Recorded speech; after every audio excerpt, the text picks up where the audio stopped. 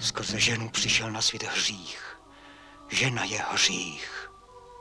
Lůno ženy je brána do pekla.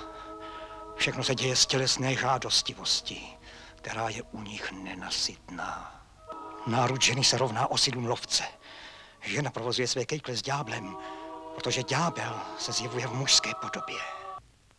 Čarodějnice jsou osoby, které uzavírají s ďáblem řádný spolek a přijímají ďábla za svého pána. On jim za to propůjčuje konatí rozličné, nadpřirozené věci. Na sněmi přilétají čarodějnice povětřím. Aby se mohli vznést do vzduchu, musí se pomazat zvláštní mastí z morku a sádla zavražděných neliňátek, rozmíchaného s čerstvou krví panen, vycezenou spod srdce. Obkročují pometlo, hřeblo, vidle, přeslici nebo kozla a výjíždějí na nich jako na koních komínem do vzduchu. Do schromáždění o Valpurgině noci bývá každá čarodějnice uvedena svým rohatým milencem.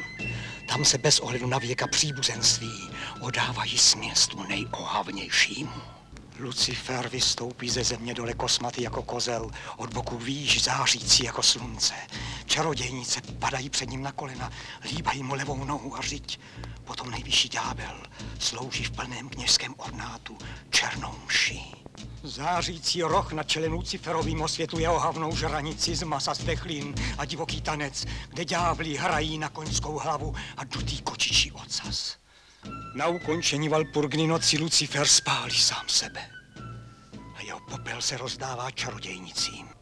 Ďábel vší mocí usiluje o panství nad světem, avšak Bůh všemohoucí nám dovolil odkryt toto nečisté hnízdo a sláva jemu na výsostech obdařil nás ctí, že můžeme toto nečisté hnízdo zašlápnout, úplně je zničit a vykouřit ohněm.